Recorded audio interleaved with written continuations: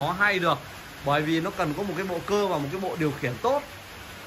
Tiếp tục ở đây thì mình sẽ ờ, chỉ cho các bạn xem nhé. Đây là cái cơ chế mà nâng hạ không trọng lực. Đây nhá họ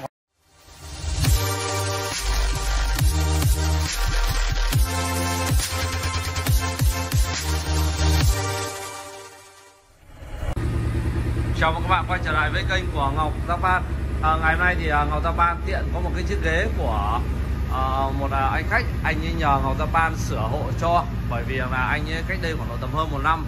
Thì anh ấy mua cái chiếc ghế này ờ, với cái mức giá là hơn 60 triệu đồng.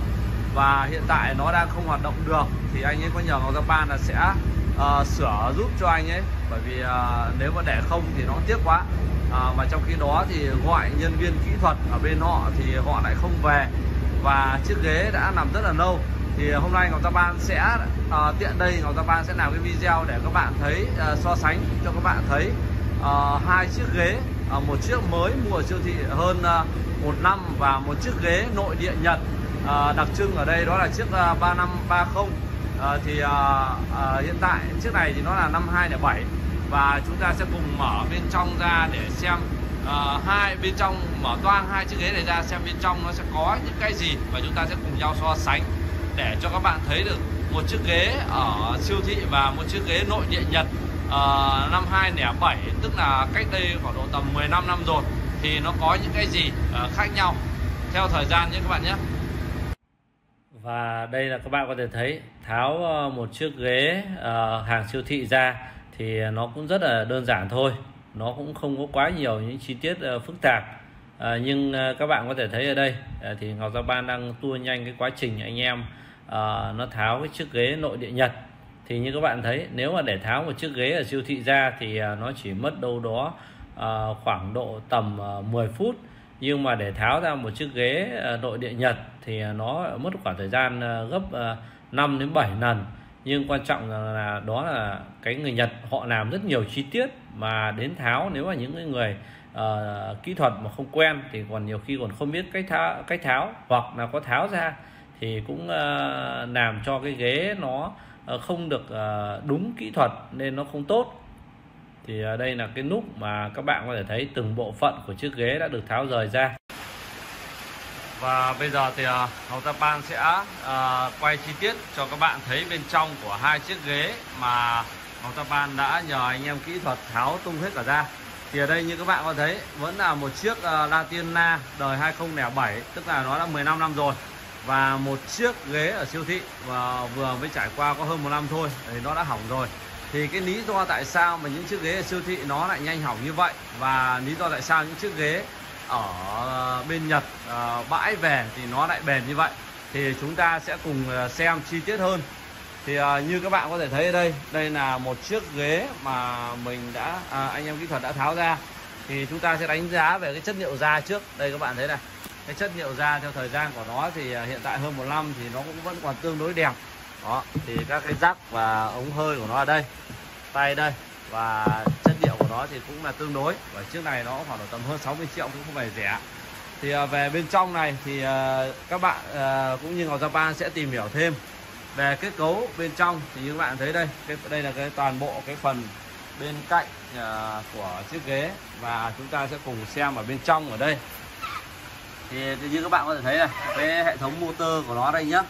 Thì uh, cái này thì nó có uh, một motor này một motor và hai motor.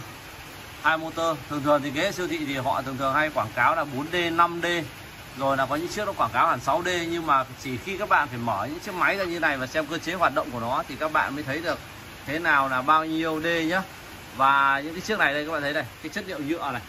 Chất liệu nhựa này của nó rất là kém. Đây, các bạn thấy đây.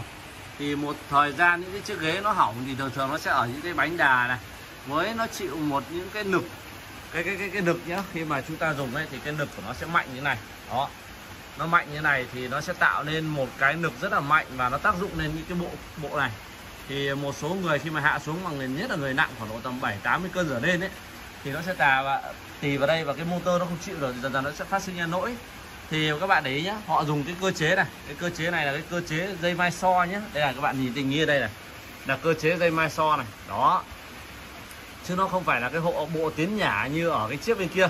Đó, ví dụ như một chiếc na ở bên ngoài này thì các bạn có thể thấy ở đây thì cái cơ chế của nó ở đây là cái cơ chế tăng giảm một túi cái túi khí này đẩy ra và cái túi khí kia nó nâng lên để nó tạo ra. Này các bạn thấy này, đó, cái túi khí kìa nó bơm lên và nó đẩy ra thì nó sẽ tạo ra cái độ khác hơn cộng với cả cơ chế nò xo ở trong này. Đó, thì cái nguyên lý nó khác nhau hoàn toàn nhé các bạn nhé. Và các bạn có thể thấy cái đồ nhựa ở bên đây này, đó. Thì tiếp theo thì à, mình sẽ cho các bạn thấy thêm hơn nữa là về cái vấn đề là vỉ mạch. Nó liên quan đến cái vấn đề vỉ mạch là bộ điều khiển thì ở cái dây dợ đây thì à, họ thiết kế này đây là dây nguyên họ của họ nhá.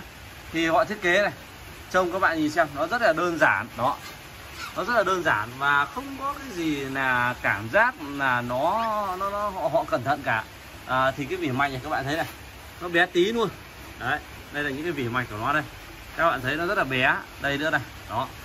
Nó bé và gần như là những cái linh kiện mà nó làm nên những cái vỉ mạch này nó không có cái độ sắc sảo và cũng như là không thể đòi hỏi được từ những cái vỉ mạch.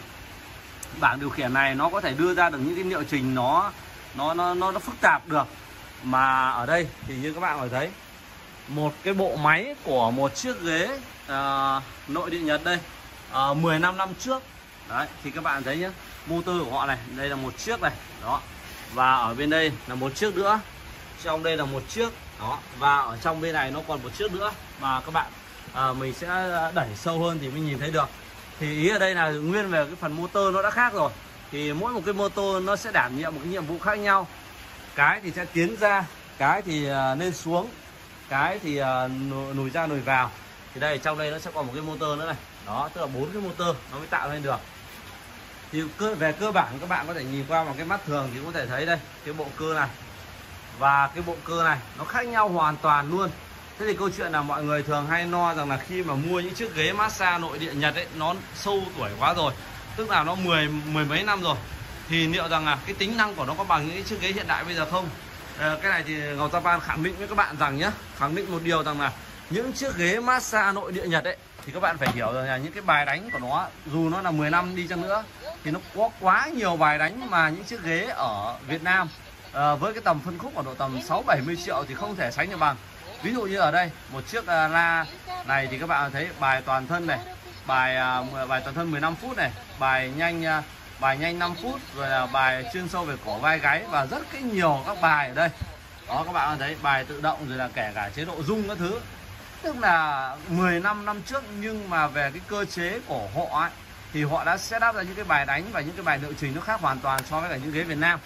Còn những ghế Việt Nam thì các bạn có thể nhìn ở đây là với cái hệ thống như này thì không thể tạo nên được một cái liệu trình nó hay được. Bởi vì nó cần có một cái bộ cơ và một cái bộ điều khiển tốt. Tiếp tục ở đây thì mình sẽ ờ, chỉ cho các bạn xem nhé. Đây là cái cơ chế mà nâng hạ không trọng lực. Đây nhá họ còn làm không. Ở đây thì họ hay quảng cáo đó là cái vấn đề là à, trục động cơ hình chữ N. Bởi vì là ở dưới cái mông này họ không làm được những cái túi khí phức tạp.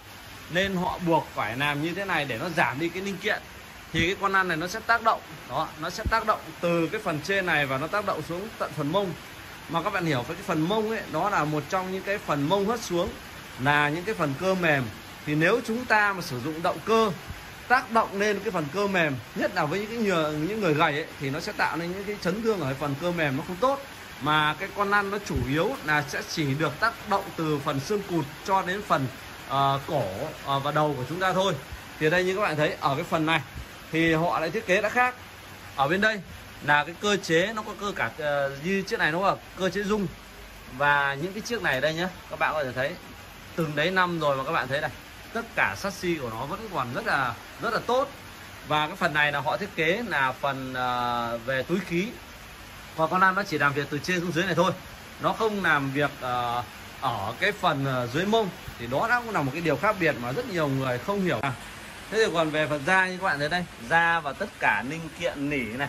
Rồi là những cái phụ kiện đi cùng với cả chiếc ghế theo cái cơ cái cơ chế là khoảng độ tầm 15 năm rồi thì các bạn thấy đây ra chiếc này về mình còn chưa vệ sinh nhé tháo ra luôn để có thể làm video cho mọi người thấy được cái sự khác biệt. À, thì bây giờ thì à, mình sẽ à, thêm cho các bạn hiểu sâu hơn về cái cơ chế nâng hạ. Thì người ta bảo lý do tại sao mà những cái chiếc ghế ở siêu thị thì cảm giác nó nâng hạ nhẹ hơn. Đây các bạn có thể nhìn xem này cái bộ chia van hơi của họ này và cái bộ nâng hạ này của họ thì nó chỉ là một cái bít tông nhỏ nó xoay từ kia nó đẩy lên nên là nó cũng tạo ra cái sự êm ái riêng. Nhưng các bạn có thấy nhá đây là một cái motor riêng để nâng hạ phần chân và một thêm một cái motor nữa ở đây để nó uh, ngạ, nâng ngả ghế. Thì nó như thế nào thì mình sẽ ấn ở đây cho các bạn xem nhé mình sẽ bật lên này này. Đấy, thì mình sẽ ấn cho các bạn xem này các bạn thấy chưa? Trước ghế mình sẽ nâng hạ này. Và đây mình sẽ để cho nó chạy đây. Đó. Đấy các bạn có thể thấy là với một cái bộ cơ mà nó rất là lâu tuổi như này nhưng mà các bạn có thể nhìn xem cái cơ chế hoạt động của nó là đó nó thiết kế ra vào này. Hoàn toàn nó khác nhá. Nó dùng là dùng là tất cả bằng motor. Nó không dùng à, cái cơ chế nò so như cái bên này ở đây. Đây các bạn thấy này. Cái nò so này. Đấy rất là mỏng manh và rất là đơn giản. Đó là cái họ thiết kế nó giảm thiểu đi để lấy được cái giá thành của các bạn. Đó. Thì lý do tại sao mà những người yêu những ghế massage nội địa thì họ luôn luôn tìm tới những cái sản phẩm nội địa nhật như thế này. À, và đây chúng ta sẽ xem về cái cơ chế mà xác định đường cong cơ thể nó như thế nào. Thì đây các bạn có thể thấy là chiếc ghế nó đang ôm sát theo cái cơ thể của con người chúng ta. Đấy các bạn nhìn thấy chưa? Nó đi tới đâu và nó sẽ ôm sát như vậy thì nó sẽ tính được cái nực cái nực và cũng như cái đường cong của cơ thể của chúng ta.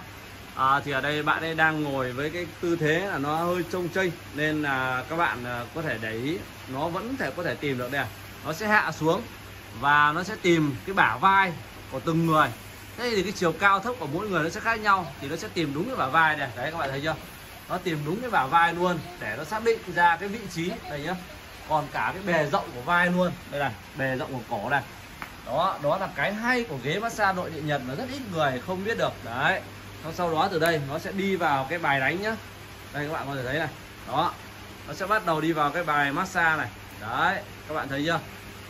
Đấy, thì chúng ta sẽ nhìn sâu hơn ở bên trong này. Đây là một cái bộ phận, một chiếc ghế massage mà mình chưa hề vệ sinh. Khi về Việt Nam mình chỉ cắm điện và mình sẽ, mình đang làm cái video để cho các bạn có thể thể thấy được đây. Đây nhá nó massage đầu này. Đấy, các bạn nhìn này. Đó. Đấy, nó tìm đúng cái điểm vai. Như như những chiếc ghế kia nó không có xác định đường cong cơ thể và dò tìm huyệt đạo thì không bao giờ nó làm được cái điều đó. Mà các bạn có thể thấy đây, này. Bộ này mình chưa vệ sinh luôn nhé. tất cả những cái mỡ này là của nó, của nguyên. Và các bạn có thể nhìn ở bên trong này đây. Nó vẫn bụi nguyên. Đấy. Và đó là cái câu chuyện mà các bạn có thể thấy ở đây. Đây, đó. Các bạn thấy không? Thì nó ôm sát cơ thể và bốn con ăn nó làm việc độc lập hiệu quả như này. Đây là cái motor này có tác dụng này, tăng lên, giảm xuống này. Đấy. Thì cái phức tạp của mỗi chiếc ghế này đó là từ đây, từ những cái bảng điều khiển này, nó điều khiển ra các vị trí, các động tác khác nhau. Thì đây là nó đang dây ở trên cái điểm vai. Như các bạn có thể thấy nhé ở trên bảng điều khiển này này. Đó. Khi con ăn nó làm việc ở đâu, nó sẽ nháy đèn ở đó, kèm theo cái chỗ đậu nâng chân này này các bạn nhé đấy. Thì cái phần hơi của nó nó sẽ ở dưới này. Đây các bạn đây phần hơi nó sẽ trong bộ hơi kia. Một bộ hơi tổng, nó chia đi các cái mảng hơi khác. Và đây các bạn thấy bộ nâng hạ của nó ở đây. Đấy, đây nhé các bạn nhìn này. Còn ốc tất cả mọi thứ từ năm 2007 và nó còn sáng như này. Và cái cơ chế vận hành của nó đây. Thì đấy là cái lý do mà tại sao mà những cái bạn mà mà không không hiểu về ghế massage nội địa Nhật ấy. Và đặc biệt là những cái cái cái cái bạn mà chưa mở chiếc ghế Nhật bao giờ. Thì thường thường các bạn sẽ có câu hỏi là không ờ, lý do tại sao mà ghế Nhật nó lại được ưa chuộng và nó lại được bền như vậy? Và tại sao người ta vẫn đi tìm những chiếc ghế massage dù là mười mấy năm đây? Các bạn nhìn ra nhé nó là massage phần lưng này. Đó. Rất đúng vào cái đường cong của cơ thể người. Đấy, các bạn thấy chưa? Đấy. Thì mỗi một cái nực này nó sẽ có một cái cảm biến và cái cảm biến trên đầu con đan ấy, nó sẽ xác định cái đường cong và theo cái cứ điểm từ lúc đầu nó làm việc. Đây đây nó đang đấm nhá. Các bạn nhìn xem cái, nó mô tả cái động tác đấm nó có giống không?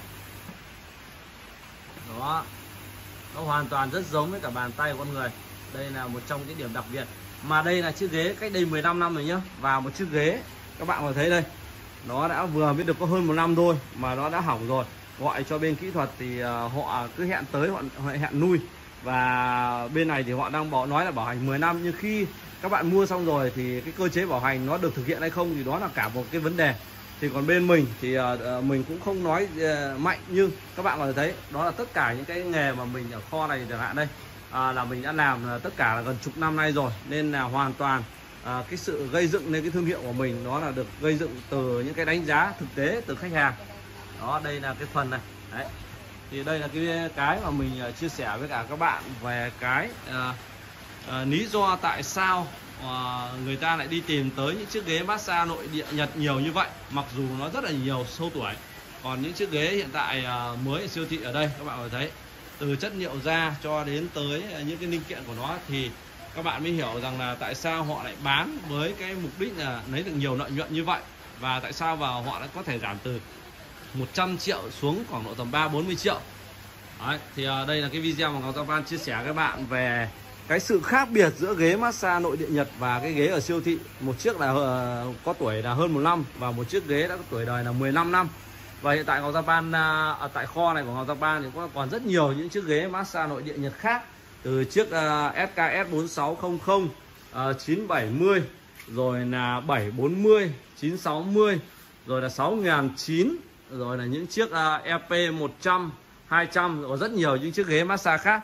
Mà đây là những cái chiếc ghế massage mà Ngọc Japan về và đã dọn vệ sinh. Đây là cái gian mà Ngọc Japan để à, hàng tồn để chuẩn bị cho à, những cái đơn hàng à, của khách hàng chuẩn bị tới. Bởi vì trên các cơ sở của Ngọc Japan này có rất là nhiều và hiện tại đây là toàn bộ luôn đây là những chiếc ghế mới Panasonic MA102 này và những uh, Nupinus 30.000 nhé cũng mới tinh luôn. Rất là nhiều để uh, các bạn có thể lựa chọn cho mình một chiếc ghế massage nội địa Nhật đảm bảo chất lượng cũng như là xứng đáng với những cái giá trị mà các bạn uh, nhận được. Và cái số tiền bỏ ra của các bạn nó sẽ được đảm bảo. Uh, chúc các bạn sẽ sớm tìm được những chiếc ghế massage. Và đây là cái video mà mình chia sẻ với các bạn về hai chiếc ghế massage nội địa uh, một chiếc ghế massage nội địa Nhật 15 năm và một chiếc ghế siêu thị hơn một năm tuổi.